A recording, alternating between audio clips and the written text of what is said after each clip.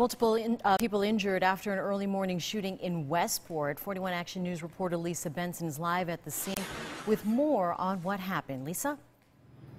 Well, Kansas City police are right now processing a pretty large crime scene after six people were shot. You can take a look behind me and see their mobile command unit. And a little bit to the right, you can see officers are still on scene counting shell casings and trying to figure out exactly what happened here.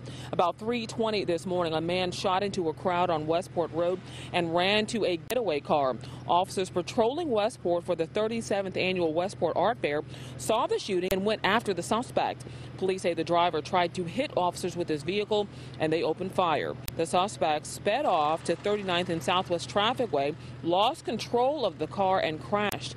Police took two people into custody. Six people were shot by the gunman. One is in critical condition this morning.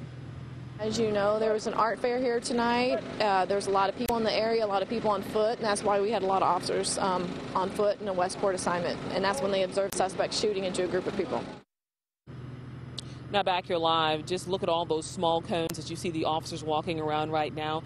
Those are all markers for shell casings. Just an idea as to how many shots were fired into the crowd early this morning. We should also note that none of the suspects were actually struck by police gunfire. But again, the person who opened fire on a crowd here in Westport hit six people, and this morning one person remains in critical condition.